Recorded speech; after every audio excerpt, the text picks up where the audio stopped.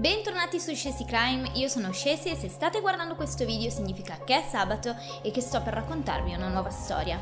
Se i miei contenuti vi interessano lasciate un like, iscrivetevi al canale e non scordate di attivare la campanella delle notifiche per non perdervi le prossime storie. Lasciate sempre un commento eh, sotto al video della settimana per dirmi la vostra opinione sul caso, in questo modo riuscirete a farmi arrivare a più persone possibile. E adesso iniziamo!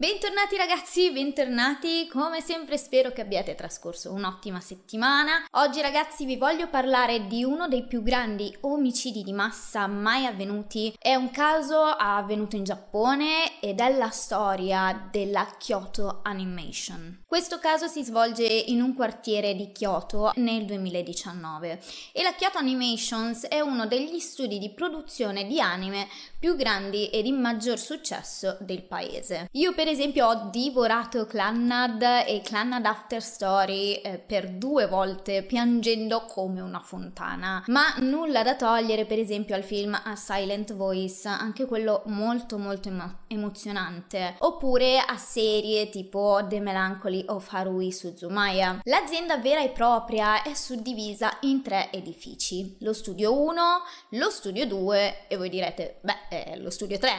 No, lo studio 5. Nello studio 1 troviamo eh, lo staff che dà letteralmente vita alle opere, mentre nello studio 2 ehm, è una sorta di sede centrale dove si trovano i big boss, mentre invece non ho trovato informazioni sul famigerato Studio 5, eh, rimane un pochino un mistero. Ma la nostra storia si svolge eh, nello Studio 1, luogo appunto dove tutte le animazioni tutte le storie di personaggi prendono vita. Lo studio 1 si trova nel quartiere Fushimi di Kyoto ed è un edificio di tre piani, in ciascuno dei quali si trovano diversi spazi da lavoro ed uffici. Il 18 luglio del 2019 70 dipendenti dell'azienda arrivano in ufficio come ogni giorno, ma ciò che non sanno è che quello non è un giorno come tutti gli altri. Intorno alle 10.30 del mattino, infatti, uno strano uomo si avvicina allo studio 1 e si fa strada attraverso la porta d'ingresso, portando con sé un carrello con sopra un mucchio di taniche piene di un liquido non identificato. Una volta arrivato all'interno dell'edificio, prende una di queste taniche, la apre e inizia a versare il contenuto sul pavimento. Così, davanti a tutti, senza spiccicare nemmeno mezza parola. Al che alcuni dei dipendenti eh, si avvicinano di corsa a quest'uomo chiedendogli scusa ma cosa stai facendo?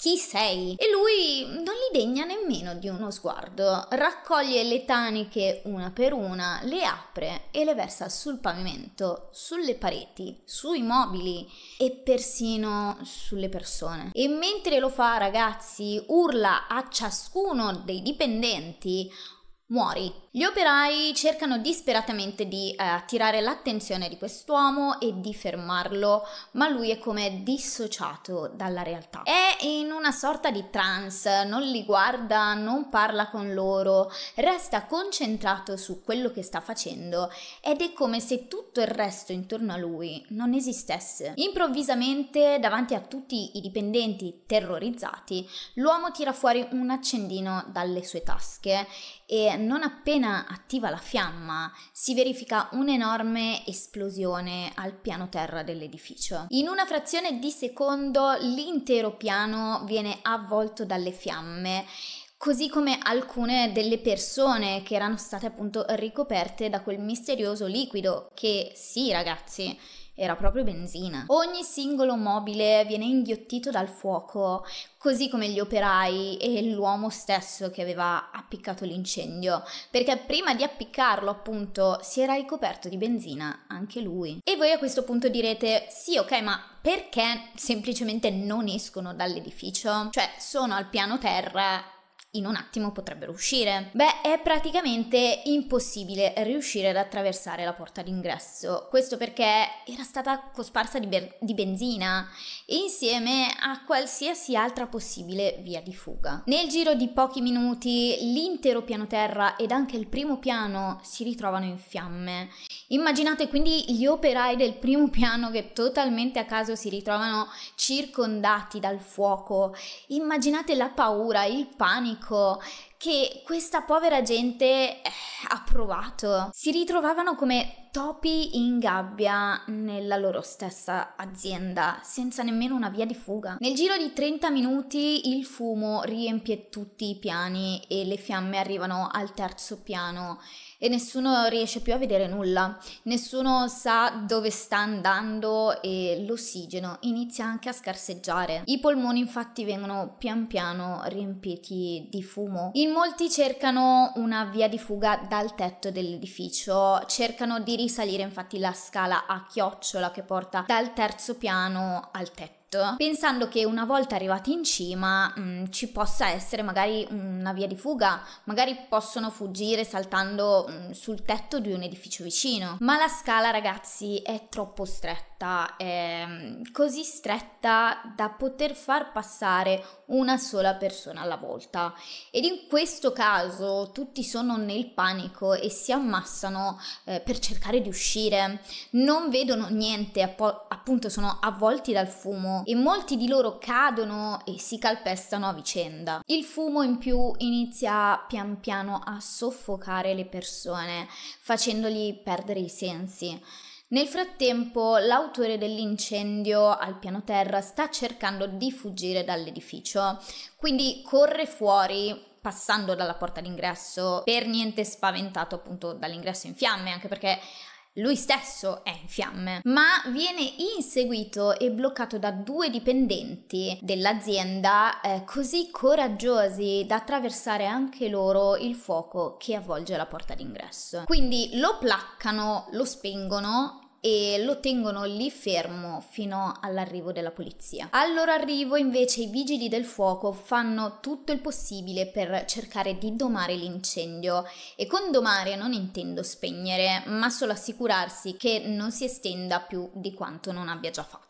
E per farlo ragazzi ci vogliono ben 5 ore, mentre per estinguerlo completamente ci vorrà molto di più, quasi 24 ore ragazzi. Viene infatti completamente estinto soltanto alle 6 del mattino del 19 luglio e ricordiamoci che è stato appiccato alle 10.30 circa del mattino del 18 luglio. Quindi una volta spento l'incendio gli investigatori riescono a entrare nello studio di animazione e a dare un'occhiata all'edificio e ciò che si trovano davanti è letteralmente la scena di un film dell'orrore. Ci sono corpi carbonizzati sparsi ovunque, su ogni piano, sulle scale e soprattutto sulla scala a chiocciola che portava appunto dal terzo piano al tetto, la stessa di cui vi ho parlato prima. Vengono ritrovati 34 corpi in totale e 20 di questi sono appunto vicino a queste scale. È straziante pensare a quanto fossero vicini al tetto, ma, ma che non sono riusciti a raggiungerlo. Durante l'autopsia della maggior parte delle vittime, vittime viene riscontrato che le cause dei decessi erano lesioni fisiche provocate dalle fiamme e questo lascia un po' tutti sbigottiti perché inizialmente si pensava che molti fossero deceduti a causa del soffocamento provocato dal fumo e non per via delle fiamme, come succede anche nella maggior parte dei casi, ma in questo caso specifico non è stato così. L'incendio infatti era stato così aggressivo, così veloce da averli raggiunti raggiunti per primo e questo significava che erano stati bruciati vivi, avevano sentito tutto. Come detto prima, la maggior parte dei corpi ritrovati sono totalmente carbonizzati e di conseguenza anche irriconoscibili. Per questo motivo devono essere identificati attraverso impronte dentali, test del DNA ed altri metodi. E pensate alle povere famiglie che trauma hanno dovuto subire per identificare i propri parenti completamente ustionati. Come ho detto all'inizio però, le persone all'interno dell'edificio quel giorno erano 70 ed infatti oltre ai 34 deceduti, 36 persone erano sopravvissute. Alcune sono gravemente ferite e vengono portate in ospedale mh, mm, rimanendo in terapia intensiva per mesi prima di riprendersi. In molti vengono sottoposti ad interventi chirurgici molto importanti come trapianti di pelle su praticamente tutto il corpo, ma purtroppo due di loro non ce la faranno. Il totale delle vittime così arriva a 36. La Kyoto Animation ritiene che rendere pubblici i nomi delle vittime non faccia bene alla comunità e quindi anche per rispetto verso le famiglie dei deceduti, l'azienda decide di non divulgare i, loro nomi. Ma le famiglie stesse possono farlo, possono decidere di rendere pubblico il nome dei loro cari. In pratica la Kyoto Animation dava alle famiglie la possibilità di scegliere quanta privacy volessero. Se avessero voluto rivolgersi eh, ai media erano liberi di farlo, se invece non volevano, di certo la Kyoto Animation non l'avrebbe fatto per loro. Per questo motivo posso parlarvi solo di alcune delle vittime coinvolte in, quel, in questa orribile strage. Una di loro è Naomi Ishida, di 49 anni. È la prima vittima ad essere identificata dalla sua famiglia. Il suo corpo viene ritrovato al secondo piano dell'edificio. Naomi era una colorista della Kyoto Animation e aveva iniziato a lavorare nell'azienda quando si era appena laureata era letteralmente il suo primo lavoro e lo amava. Amava quello che faceva e ha lavorato a molti grandi titoli prodotti dalla Kyoto Animation. La causa della morte di Naomi è stata un avvelenamento da monossido di carbonio per via appunto del fumo e la sua famiglia l'ha seppellita con un vestito che Naomi aveva conservato per il giorno del suo matrimonio. Yasuhiro Takemoto, 47 anni, era un regista, animatore e sceneggiatore sceneggiatore della Kyoto Animation, uno dei membri più importanti del team. Anche lui aveva iniziato a lavorare lì da dopo la sua laurea, ottenuta in una scuola di animazione a Shibuya, che per chi non lo sapesse si trova a Tokyo. Un'altra vittima è Yoshiji Kagami, di 61 anni. Yoshiji era un animatore, regista e storyboarder con una lunghissima carriera alle spalle e prima di lavorare per la Kyoto Animation aveva lavorato ad altri grandi titoli con altre aziende aziende. Futoshi Nishiya, di 37 anni, era un animatore, regista e character designer. Anche lui è entrato nell'azienda appena dopo essersi laureato. E voglio aprire una piccola parentesi. Gli animatori in Giappone di solito non vengono pagati molto bene. È un lavoro molto stressante e poco retribuito anzi molte volte si parla proprio di sfruttamento. Ma la Kyoto Animation era diversa. I dipendenti venivano trattati bene e ricevevano un ottimo stipendio. Per questo motivo gli animatori emergenti aspiravano al poter lavorare per la Kyoto Animation, perché sapevano benissimo che era una delle migliori aziende del campo. Ed ecco perché chi riusciva ad entrare a far parte dell'azienda subito dopo la laurea, cioè non si spostava più. Quello era il posto migliore che potessero trovare e di sicuro non l'avrebbero mai lasciato. Ma come ho detto, queste sono solo alcune delle vittime che hanno perso la vita quel giorno. 36 persone sono morte a causa di questo massacro e la Kyoto Animation non solo ha subito la perdita di 36 dipendenti di grande talento, ma quel giorno ha perso anche molti dei suoi lavori. Tutti i loro computer, tutto il lavoro, il, gli hard disk e, e le cose che avevano fatto per anni è andato perso. Ma tornando alla storia, grazie ai due coraggiosi dipendenti dell'azienda, il colpevole di questa tragedia viene catturato. Ma anche lui, come molti altri, è gravemente ferito e viene portato d'urgenza in ospedale. Ma prima di farlo la polizia decide di perquisirlo e scopre che si era portato dietro anche sei coltelli, probabilmente da utilizzare come piano di riserva se l'incendio non fosse andato a buon fine. L'uomo comunque arriva in ospedale e rimane lì per circa due mesi. Entra in coma ed i medici sono convinti che abbia pochissime possibilità di sopravvivere, ma alla fine, dopo qualche mese, si riprende ed esce dal coma. Viene attaccato ad un respiratore per un po' di tempo e viene anche operato più volte per effettuare dei trapianti di pelle per via delle ustioni riportate e per un periodo si sposta con una sedia a rotelle perché per via del coma non si è mosso per mesi ed i suoi muscoli si erano ormai atrofizzati. Tutta la riabilitazione dura più di sei mesi ed in questo tempo la polizia non può nemmeno portare avanti le indagini. Questo perché il personaggio personale dell'ospedale non glielo permette.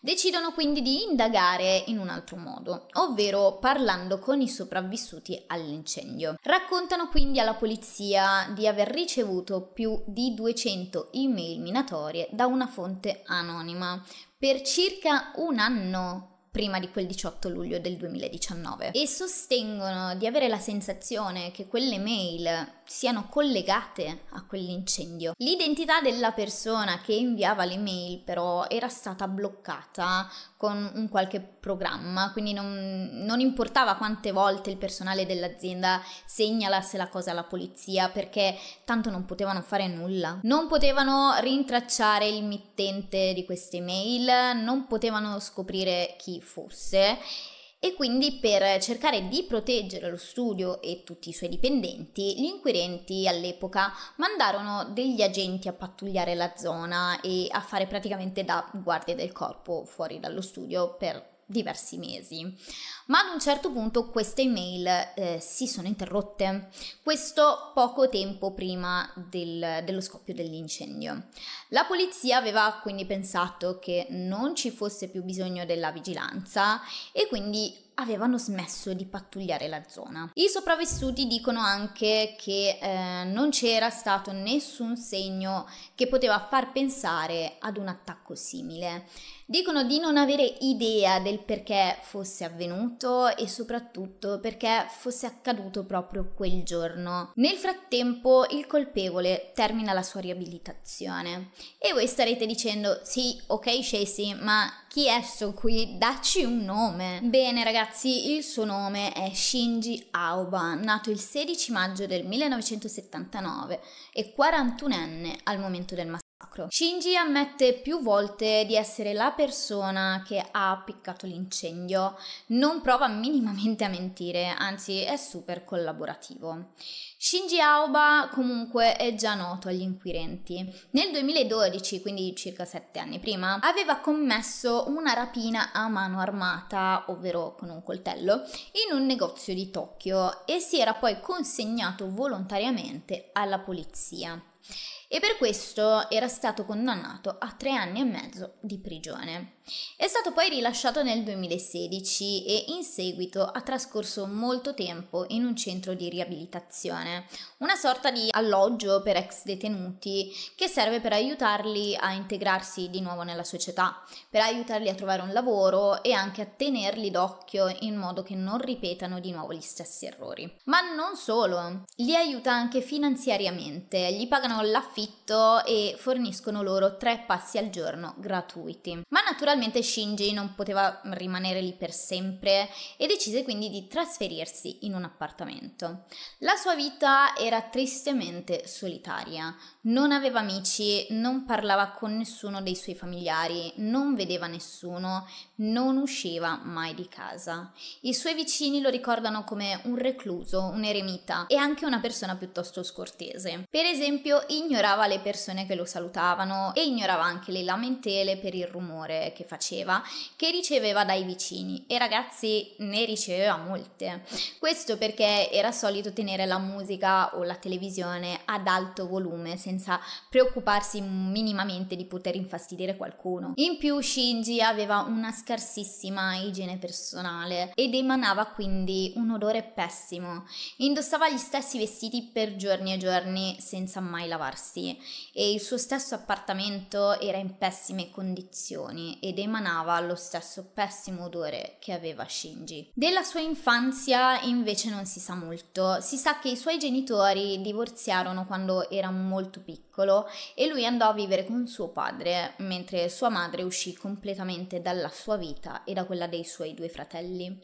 Nel 1999, quando Shinji aveva 21 anni, suo padre purtroppo si tolse la vita ed il ragazzo ne rimase così scioccato da chiudersi in se stesso ed isolarsi dal mondo intero, allontanandosi dai suoi fratelli, da tutti i suoi amici e dalla società intera. Decise letteralmente di non voler avere più contatti con il mondo esterno, voleva solo stare nel suo appartamento leggendo i suoi manga. Per chi non sapesse cos'è un manga, è questo. è un fumetto giapponese che si legge letteralmente al contrario, nel senso i libri solitamente si leggono così. No, questa è la fine e questo è l'inizio. E niente, questo qua è Sakura. Chi non l'ha mai visto Sakura? Pesca la tua carta, Sakura. Vabbè, comunque continuiamo. Shinji iniziò questa sua vita da hikikomori, che è il termine che viene usato in Giappone per indicare appunto le persone che conducono una vita distaccata dalla società e quindi un eremita all'età di 21 anni e andò avanti così fino ai 41 anni, età in cui ha appiccato appunto l'incendio alla Kyoto Animation. Nel 2012 aveva poi appunto commesso quella rapina a mano armata ed una volta in prigione gli era stato diagnosticato un disordine mentale e per questo aveva iniziato un percorso psicologico, un trattamento psicologico, che però non aveva portato avanti dopo aver lasciato la prigione. Ma ora arriviamo alla domanda che tutti ci stiamo facendo. Perché lo ha fatto? Perché ha dato fuoco all'azienda uccidendo così tante persone? Cosa c'era di particolare in quello studio di animazione e perché Shinji era così arrabbiato con loro? Beh, quando la polizia inizia a indagare su quest'uomo e sulla sua storia, salta fuori un potenziale movente. La Kyoto Animation organizza ogni anno un concorso in cui i fan possono inviare una storia scritta da loro e quella del vincitore viene trasformata in un anime. In palio c'è anche un premio in denaro di un milione di yen, che sono circa 6.000 euro. E questo concorso è davvero molto conosciuto ed ogni anno milioni di persone mandano i loro, i loro lavori e le loro storie, puntando a vincere anche solo per poter indicare alla televisione e dire ehi, quell'anime è mio. E ragazzi, indovinate un po', si scopre che Shinji eh, aveva partecipato a questo concorso per ben due volte, una volta nel 2017 e una volta nel 2018, anno prima dell'incendio. Ma Shinji non aveva superato le selezioni in nessuna delle due occasioni. E voi direte, ah ecco, si è arrabbiato perché è stato rifiutato. Beh, no. Il vero motivo della rabbia di Shinji risale all'inizio del 2019, mentre era a casa e come sempre stava guardando degli anime in tv. Quel giorno andava in onda per la prima volta un nuovo anime di cui Shinji non aveva mai sentito parlare, quindi aveva deciso di guardarlo. L'anime era stato prodotto proprio dalla Kyoto Animation e ad un certo punto Shinji aveva iniziato a notare qualcosa di molto familiare in una delle scene. Ad un tratto gli era scattato qualcosa in testa, gli si era accesa una lampadina e si era reso conto che quella era la sua storia, una di quelle che aveva inviato al concorso e che era stata rifiutata. Quindi capite, eh, Shinji si era reso conto che la Kyoto Animation aveva rubato la sua idea e lui era furioso per questo. Si ritiene quindi che da quel momento aveva iniziato ad inviare delle email minatorie ad ogni singolo indirizzo di posta elettronica che era riuscito a trovare della Kyoto Animation, minacciando tutti di morte. Questo però non è mai eh, stato possibile dimostrarlo, cioè si ritiene che fosse stato lui, ma l'indirizzo mail da cui erano stati mandati questi messaggi era criptato e non sono mai riusciti a identificare la persona dietro a queste minacce. Però appunto le hanno collegate a lui andando un po' ad esclusione, visto che solo pochi mesi dopo era stato proprio Shinji a dar fuoco all'edificio. In ogni caso, Shinji era convinto che la Kyoto Animation avesse rubato la sua idea, ma era davvero così? Dovete sapere che in realtà la scena che lui credeva fosse stata copiata dal suo lavoro era in realtà una scena molto generica. Si trattava di una scena in cui alcuni personaggi andavano in un negozio a comprare qualcosa, se non mi sbaglio della carne. E quella scena non diceva nulla di particolare, non era riconducibile ad un plagio. Era una scena che si poteva e che si può vedere tranquillamente in qualsiasi anime o anche serie tv. Se fosse stato che Shinji aveva scritto qualcosa di più specifico, tipo che ne so, dei gufi fucsia che ballano la Macarena sull'isola di Tenerife, allora ok, sarebbe stato plagio. Avrebbe potuto tranquillamente dire che l'azienda aveva davvero rubato la sua idea ma la scena di cui parlava era davvero troppo generica per essere stata rubata. Comunque Shinji aveva iniziato appunto a inviare queste mail minacciose fino a quando all'improvviso aveva smesso di inviarle. Di conseguenza la polizia che pattugliava la zona, ritenendo che non ci fossero più pericoli per la Kyoto Animation, aveva smesso di appostarsi nell'area. Ma intanto la vita di Shinji e la sua mente diventavano ogni giorno sempre più incasinate, fino a raggiungere il punto di non ritorno. Tornando alle indagini, gli inquirenti controllano eh, i filmati delle telecamere a circuito chiuso sparse per Kyoto. Quindi immaginatevi il lavoro, Kyoto comunque non è piccola e da questi riescono a ricostruire i movimenti di Shinji da quando era arrivato in città fino al giorno dell'attentato. L'uomo aveva soggiornato in diversi hotel ed era anche andato in diversi negozi di anime manga. Il 18 luglio poi si era recato in una stazione di servizio a circa 9 km dallo studio 1 e lì aveva acquistato 40 litri di benzina. Aveva poi caricato tutto sul suo carrellino e aveva iniziato a camminare fino allo studio 1, dove era entrato e aveva dato fuoco a tutto quanto. E ragazzi, no, lo studio non aveva nessuna misura di sicurezza, la polizia non, pu- non, pattugliava più perché l'allarme appunto di minacce era rientrato, non avevano chiave elettroniche per permettere eh, di entrare solo ai dipendenti e non c'erano neanche dei citofoni.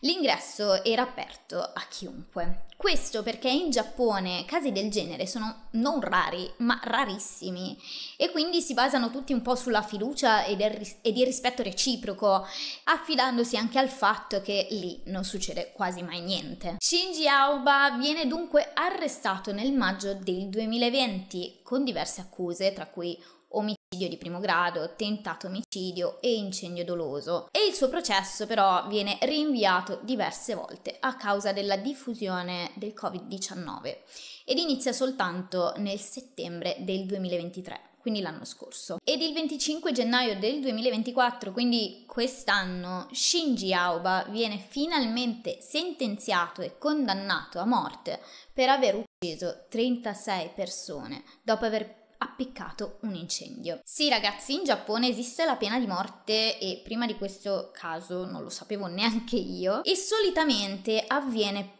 per impiccagione, ma soltanto in caso di plurimomicidio oppure di omicidi molto molto violenti. E ragazzi, devo dire che eh, non era per niente scontata questa sentenza, anzi, le persone credevano che Shinji se la sarebbe cavata con l'ergastolo proprio per via del suo disordine mentale, ma alla fine non è stato così.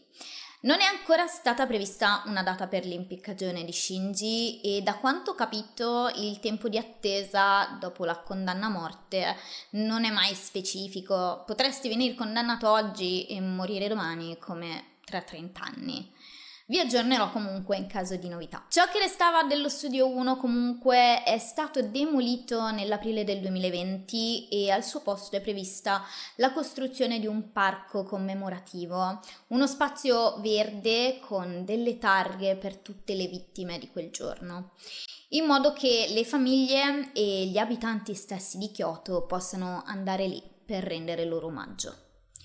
E ragazzi, questo è tutto quello che ho trovato su questo caso e sono curiosa come sempre di sapere la vostra opinione. Secondo voi Shinji meritava la pena di morte oppure meritava solo l'ergastolo per via appunto dei suoi problemi psichici? Fatemelo sapere eh, lasciando come sempre un commento qua sotto. Se il video vi è piaciuto lasciate un like, iscrivetevi al canale e non scordate di attivare la campanella delle notifiche per non perdervi le prossime storie. Seguitemi anche sugli altri social, vi lascio come sempre i link qua sotto in descrizione e noi ci vediamo sabato prossimo con un nuovo caso. Ciao!